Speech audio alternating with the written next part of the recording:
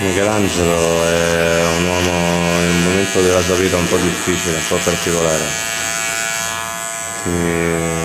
Non, è un momento in cui non, capisce da che parte va il proprio lavoro, soprattutto non capisce da che parte va la propria vita dal punto di vista sentimentale, ma soprattutto non capisce da che parte va la propria vita dal punto di vista proprio della base che è data a tutti quanti di eh, vivere, cioè la possibilità di vivere sano e sereno e soprattutto una persona che per come è fatta tende un po' a, a dire si risolveranno domani le questioni, però c'è qualche cosa che gli succede che non gli permette di dire questo.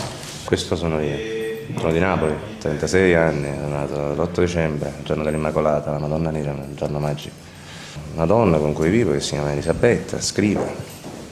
Lei fa la sceneggiatrice, ma in questo momento è un po' particolare lei accusa di essere una persona un poco remissiva rispetto alle condizioni economiche che in questo momento non sono brillantissime, però si risolveranno, io non ho problemi da questo punto di vista.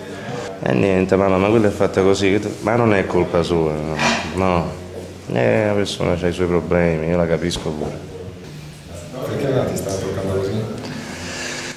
Perché innanzitutto io non ho 31, 36 anni, ne ho 31.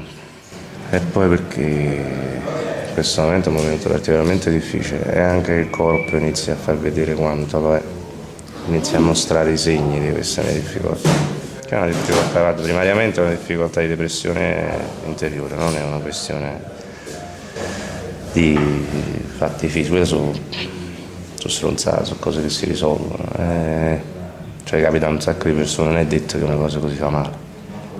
Il problema è che comunque io inizio a vedere e a far vedere pure fuori che non sto bene.